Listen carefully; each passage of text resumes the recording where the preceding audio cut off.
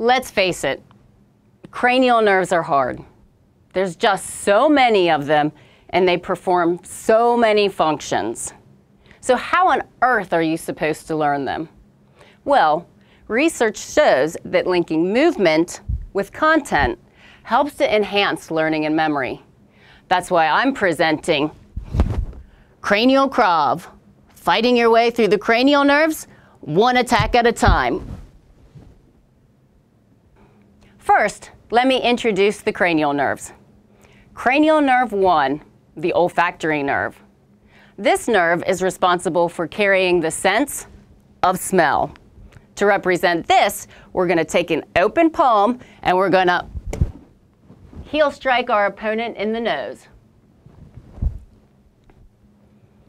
Cranial nerve 2, the optic nerve.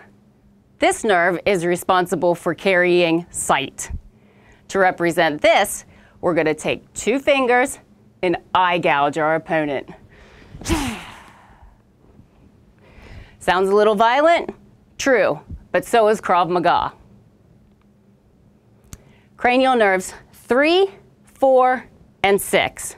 The oculomotor, trochlear, and abducens nerve respectively.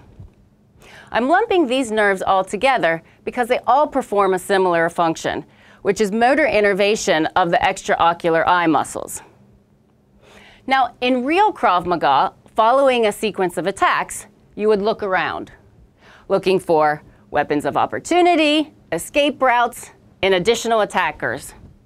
In Cranial Krav, we're going to look around, but just with our eyes to represent the function of these three cranial nerves. So first we're going to look up and then look down. This movement is controlled by muscles that are innervated by the oculomotor nerve. In particular, the superior rectus, the inferior rectus, and the inferior oblique. Following that, we're going to look down and out to our right. The down and out movement is enabled by the superior oblique muscle, which is innervated by cranial nerve 4, the trochlear nerve. So we'll look down and out to the right and then to the left. After that, we're going to look look out just to the right. Now, as one of my eyes, the right eye, is looking out, the left eye is looking in. That inward movement is controlled by the medial rectus, which is another muscle that's innervated by oculomotor nerve. But the, look, the eye that's looking out, or abducting the eye, that is enabled by the lateral rectus muscle, which is innervated by the abducens nerve. So abduction, abducens nerve. So to go over this one more time, look up and down, oculomotor, look down and out to the right and, and to the left, trochlear, and then out to the right, out to the left, abducens nerve.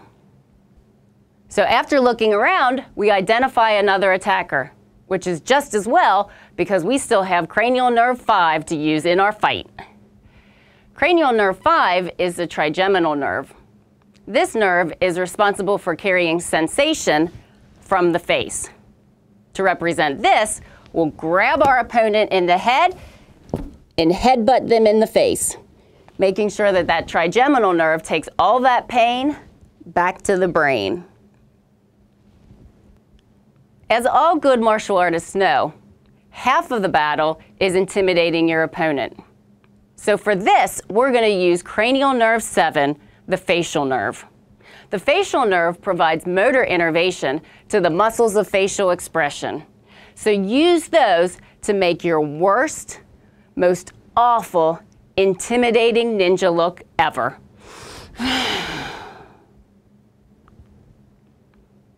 well, it turns out our intimidating ninja look didn't quite cut it.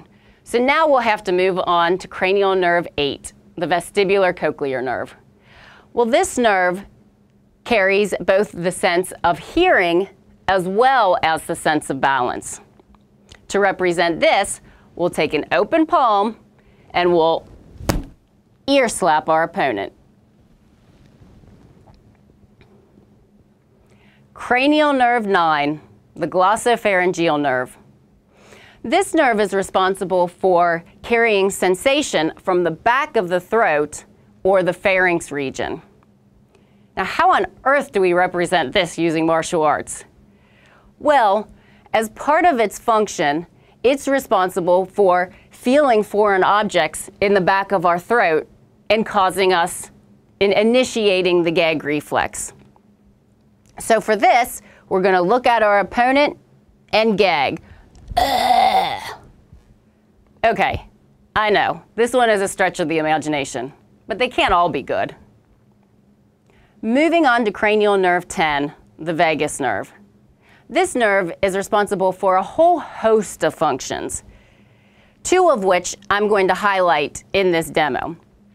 One is that it carries parasympathetics to most of the organs, including most of the organs as, of the ab abdomen, as well as the heart and lungs.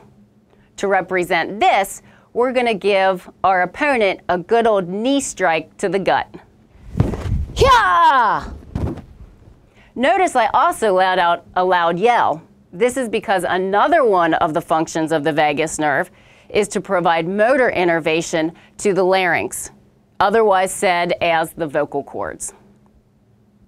After that last move, our opponent seems to have pretty much had it. So we're going to move on to cranial nerve 11, the spinal accessory nerve. First, we're going to look around looking for additional attackers because this nerve provides motor innervation to the sternocleidomastoid muscle, which helps with rotation of the head. When we see that there are no other attackers, we're going to shrug our shoulders, trapezius muscle, and walk away. But not before turning around, sticking out our tongue at our, at our opponent to represent hypoglossal nerve, cranial nerve 12, providing motor innervation to the intrinsic muscles of the tongue. You ready to put this all together? Let's do it. Palm heel strike to the nose. Eye gouge. Look up, look down, look out to the right, out to the left, side to side. Headbutt your opponent in the face. Intimidating ninja face. Ear slap. Gag. Yeah! Knee to the gut. Look around. Shrug your shoulders. Walk away. Stick out your tongue.